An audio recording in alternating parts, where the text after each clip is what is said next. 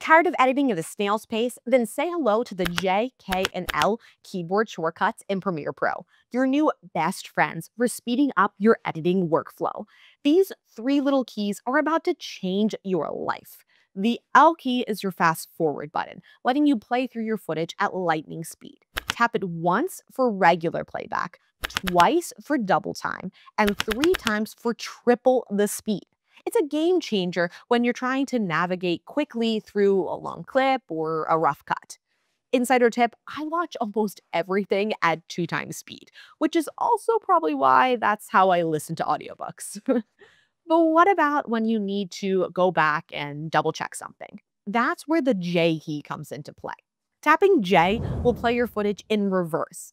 The audio also plays in reverse, so I don't really use this one as much, but it's a powerful tool and important to learn.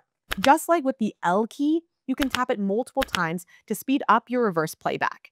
And then there's the K key, the unsung hero of the bunch. Tapping K will instantly pause your playhead, allowing you to freeze frame on a specific moment or make a precise edit. Now, the spacebar does do the same thing, but J, K, and L all sit next to each other on the keyboard, so you may find K more comfortable or faster depending on what works for you, making you go from editing at a snail's pace to moving as fast as an ostrich. Follow Find the Story to learn how to edit like a pro.